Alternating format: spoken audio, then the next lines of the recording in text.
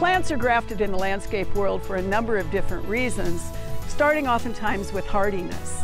So people who grow roses know that if you can get a rose on its own root, the chances are it is really going to survive the climate. However, if the top is not hardy and the root is, it may die back to the ground. One of the things that's happened in the plant world is that consumers love plants that are grown on standard. So it's either a low standard or a high standard, which essentially is a trunk. Unfortunately, what happens with a lot of plants that are grafted on standard is that they revert. So classic is this is probably a Diablo nine bark, one of the big shrub nine barks. You can see where the standard was and you can see that we have no plant left on the top of this. Instead, we have all of these suckers from the base. So one of the problems with grafted plants is depending on the top hardiness, depending on the vigor of the rootstock, you will not end up with the plant you want, you'll end up with having to deal with the suckers. People really like hydrangeas grafted on standard, sort of as one of those great big meatballs by the front door or even in a container. But again, you can see what happens when either we have a lot of damage or we have graft incompatibility.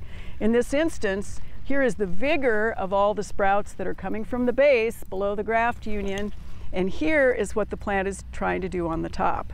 Realistically, what should happen here is give up on the standard, cut the big twig out of here, and let this turn back into a shrub. A really troubling problem has started with our ornamental pears, which were considered invasive now. And you can see what has happened here. The rootstock itself has started to really become aggressive. The foliage doesn't match. The growth is tremendous. This is what causes these pears to become invasive species. And unfortunately, in, in taking care of all of those suckers from any plant from below the graft union, you can go ahead and cut them out, but that is a never-ending process. You can use a couple of chemicals, but that will typically take the top off and not damage the roots or not manage the roots. So they're just going to continue to sucker. Many of our new hybrid species of trees are grafted. And again, what that does is supposedly promote a lot of vigor. Perhaps it is disease resistance or insect resistance in a different form or color. You can see on this elm where the graft union is. You can also see the damage that has occurred below the point of the graft. And oftentimes what happens that causes trees to revert or go into that suckering and shrubs as well is the damage in that rootstock causes the rootstock to take over. And you can see that this is actually happening with this elm.